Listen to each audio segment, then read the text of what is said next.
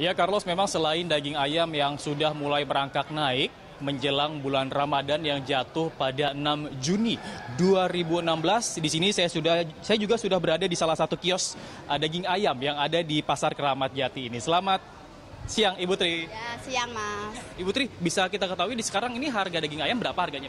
Sekarang per kilo 35. 35 Ibu. Uh, dulu berapa? Ada kenaikan berapa ini? Dari awalnya 28 ke 30, sekarang 35. 35 Ibu ya. Memang ini ada kenaikan 2000 sampai 5000 Bu ya. Uh, sebenarnya untuk harga ini itu normal atau memang udah naik cukup banyak? Udah naik Mbak, Mas. Udah naik 5000 per kilo. Hmm. Terus kalau misalnya harga puncaknya biasanya kalau misalnya menjelang bulan Ramadan itu sampai sampai berapa Ibu? Sampai harga 40.000. Bisa sampai 40 ribu Ibu, Ibu Tri ya?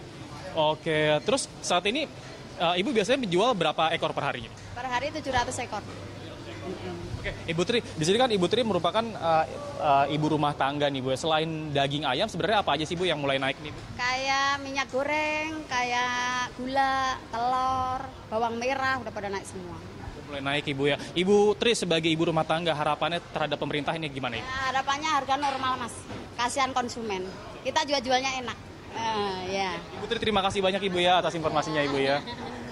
Ya, memang saat ini Carlos beberapa kebutuhan seperti daging ayam, daging sapi yang memang saat ini mulai perangkat naik yang memang harus menjadi perhatian dari pemerintah agar memperhatikan barang-barang yang ada di seluruh pasar yang ada di Indonesia sehingga para pedagang juga mendapatkan untung dan para konsumen juga mendapatkan keuntungan dengan harga yang tidak begitu naiknya cukup tajam.